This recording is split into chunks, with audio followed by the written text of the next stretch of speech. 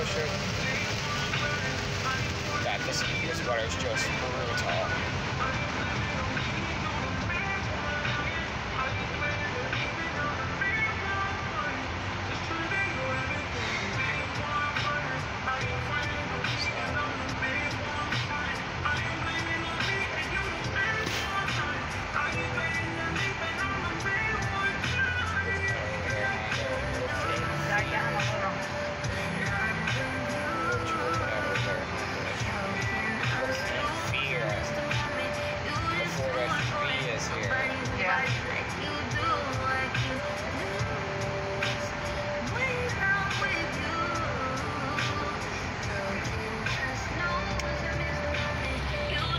Definitely not my favorite weather to go.